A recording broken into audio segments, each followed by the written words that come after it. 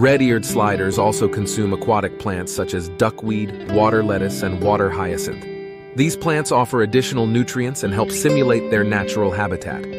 Offer a variety of vegetables, including carrots, squash, bell peppers, and green beans. These should be finely chopped or shredded for easier consumption. Red-eared sliders require a source of animal protein in their diet. This can be provided through commercial turtle treats or natural foods like insects, small fish, and cooked chicken or turkey. Not sure what food should you order? Check the description.